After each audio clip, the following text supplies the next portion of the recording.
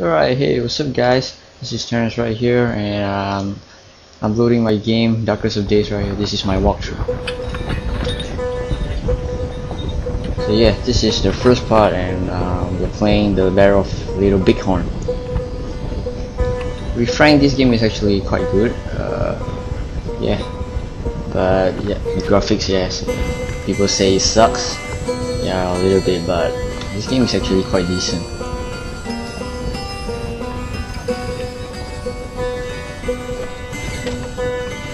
Yeah and the arrow graphics is kind of fake but uh, it's not bad already yeah, I've never heard of this company and I've never seen them create any game before. So I find this game actually alright for the first time. Right gonna move. Uh, you have to follow these two guys but I'll just move it up to save time. Come on! We're gonna get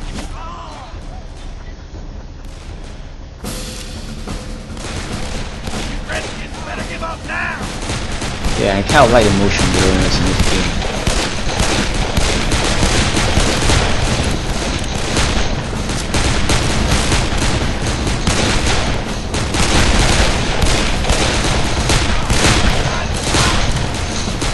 Alright guys, I admit my aim sucks.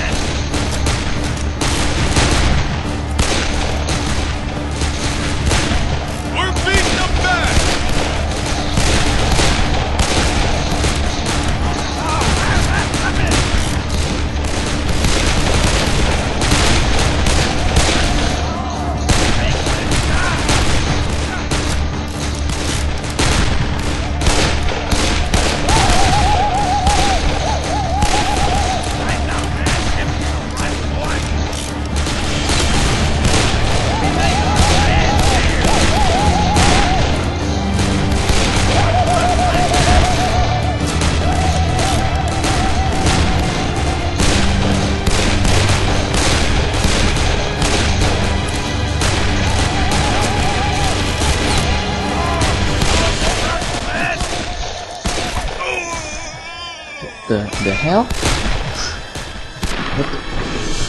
Alright guys, so all I know there shouldn't be anyone alive other than a guy shooting pistols. So I think this is kind of a bug or something. Anyway, this I like the graphics in this part. Alright guys, um, we're gonna stop here.